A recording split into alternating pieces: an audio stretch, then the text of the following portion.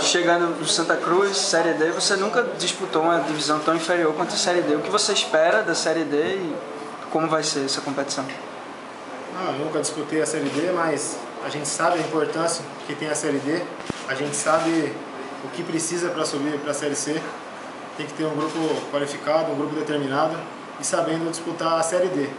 Então a gente espera fazer um, um belo campeonato que a gente possa colocar o Santa Cruz no lugar onde, sai, onde devia estar. Agora você, ano passado, fez um gol em Thiago Cardoso, né? Isso você vê como um fator positivo, uma ajuda mais ou, ou não? Não, é... fiz o gol contra meu companheiro agora, né? É.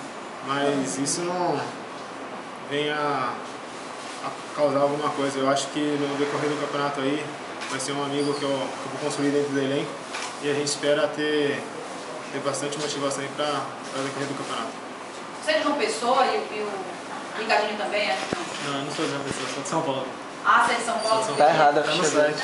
Ah, Leandro, é, você passou pela Ponte Preta, né, que é um clube de tradição, assim, mas acho que o Santa Cruz é o primeiro clube de massa que você vai defender. Qual a tua expectativa para encontrar essa torcida? O que é que tu está esperando aqui?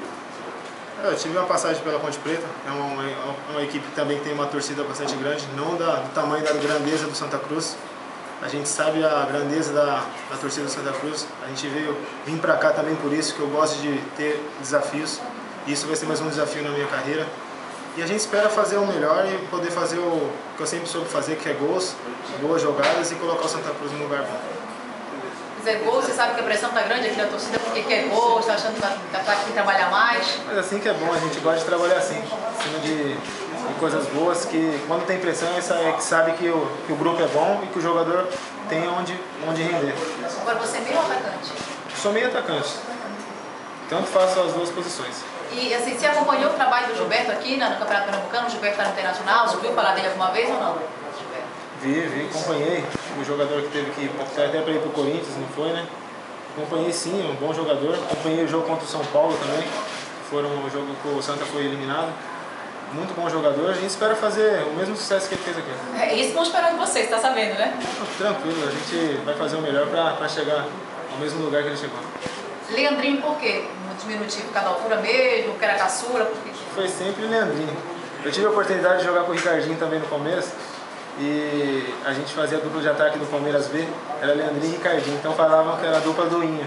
Pois é, funcionou? Funcionou, graças a Deus funcionou. A gente teve um acesso, na época acho que era na Série A3, e a gente funcionou. Qual foi o ano? 2002 ou 2003? 2002. 2003 foi a Série B.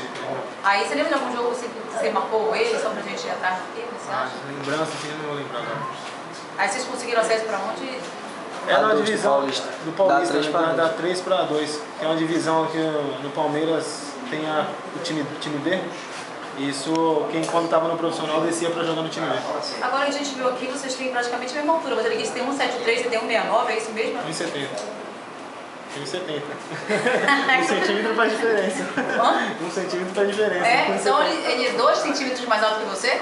Não, ele é 3. Eu tenho 1,70 e ele tem 1,73, né? Eu tenho 1,70. 1,70, tem 1,70. Ricardo, suas características do jogo, torcedor de Santa Cruz que não te conhece, como é que tu explica? Não, um jogador que é aguerrido, procuro sempre buscar o jogo, buscar partir para cima e fazer o melhor para a equipe, dentro do, do que o treinador pedir, procurar sempre fazer o melhor. Quanto foi teu último jogo? O último jogo também foi mais ou menos na época que o Ricardinho comentou, foi em março. Foi um jogo até contra o time dele, que foi contra o Mojimirim. Você vinha treinando, vinha parado? Acho que precisa de quanto tempo? Pra... Não, sim, vinha treinando depois que eu fiquei, que acabou o Campeonato Paulista. Eu treinei no, no Palmeiras, tive a oportunidade de ficar treinando lá com o preparador físico, que é um grande amigo, o Anselmo. Treinei lá e treinei também no Juventus, que era perto de casa dos clubes. Então, acredito que nesses 15 dias aí, se o professor quiser contar comigo, eu acredito que eu posso estar pronto.